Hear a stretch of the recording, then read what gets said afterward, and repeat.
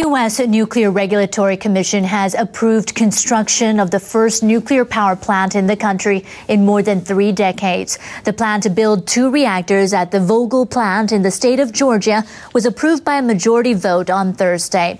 The U.S. stopped building nuclear plants after the Three Mile Island accident in 1979. The new models were designed by Westinghouse Electric, the U.S. unit of Japan's Toshiba Corporation. Construction could begin as early as this year. The reactors are expected to start operating in 2016.